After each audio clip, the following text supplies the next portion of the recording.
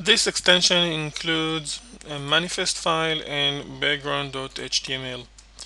Uh, this icon is redundant. Let's take a look at the source code.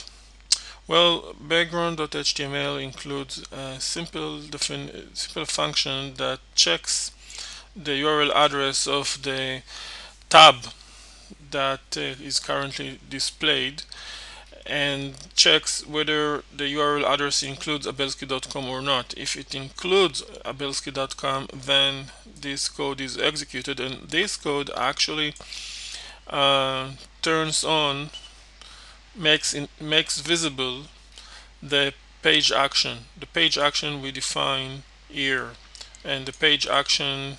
This is the icon, and uh, this is a small um, tooltip uh, that will be displayed nearby the icon.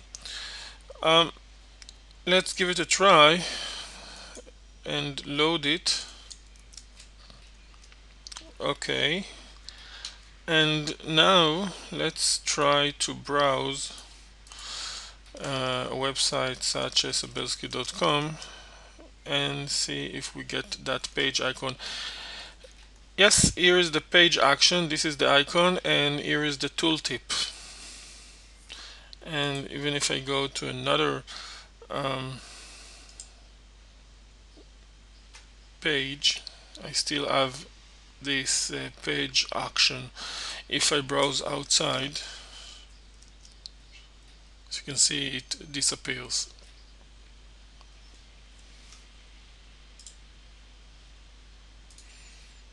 here in this code line I uh, register this function to be invoked